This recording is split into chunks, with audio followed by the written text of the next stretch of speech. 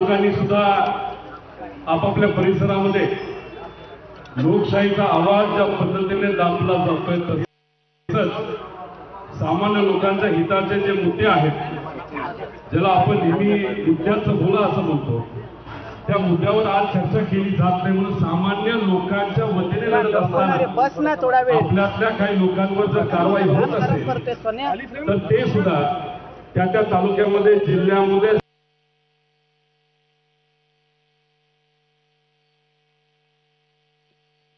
सामान्य लोकांचे प्रश्न घेऊन तिथं ते लढले.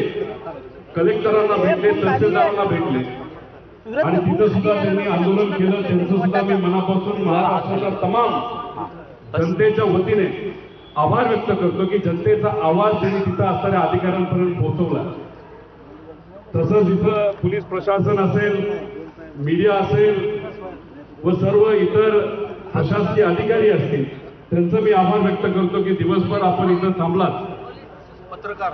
त्याच्याचबरोबर आपल्या सर्वांबरोबर कारण का शेवटी आपण पार्टीच्या ऑफिसच्या समोर बसलो आहोत. ज्या पद्धतीने आपलं कुटुंब असतं तसंच आपल्या पार्टीमध्ये काम करणारे सर्व कार्यकर्ते हे आपल्या कुटुंबाचे भाग असतात. आणि आपल्या घरासमोर तुम्ही सर्वजण घरातले सदस्य म्हणून इथे आलात. या राज्यामध्ये कानाकोपऱ्यामध्ये आपलं हे जे मोठं घर आहे आदरणीय पवार साहेबांच्या मार्गदर्शनाखाली चाललेलं त्याचे सर्व कार्यकर्त्यांचे पुनश्च एकदा मी आभार व्यक्त करतो. माझ्याबरोबर असे काही लोक माझ्या कुटुंबातून आलेले आहेत. त्यांचं आणि राजकारणाचं काही दूर दूरपर्यंत काही नातं नाही. जे कुणी ऍक्टिव्ह पॉलिटिक्समध्ये नाहीत. ज्याच्यामध्ये प्रतिभा आजी इथं आल्या होत्या. त्याच्याच बरोबर रेवती सुद्धा माझी बहीण इथं आली होती. खरं तर आदरणीय पवार साहेब आणि सुप्रियाताई इथं येऊ शकल्या असत्या. पण दोघांनी मला सांगितलं की तिथं कुटुंबियातले इतर जे सर्व लोक आहेत पवार कुटुंबियातले असतील राष्ट्रवादी परिवारातले सर्व कार्यकर्ते पदाधिकारी असतील ते तर तिथे येतीलच पण महाराष्ट्राचे कानाकोपऱ्यातील नागरिक सुद्धा तिथे येतील. पाटील जयंतराव पाटील साहेब इथं येऊन गेले. सुनील भुसारा असतील ते येऊन गेले.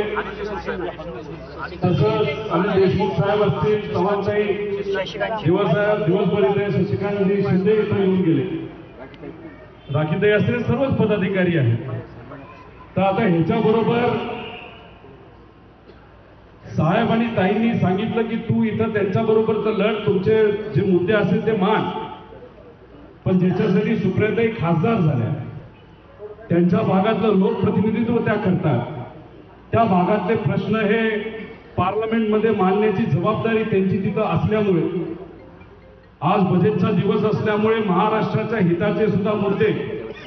महाराष्ट्रातलं सरकार मांडत नसलं तरी सुद्धा सुप्रियाताई तिथं लोकसभेमध्ये महाराष्ट्राचा आवाज म्हणून तिथं ते मुद्दे मांडत आहेत. आणि मुद्दे असतील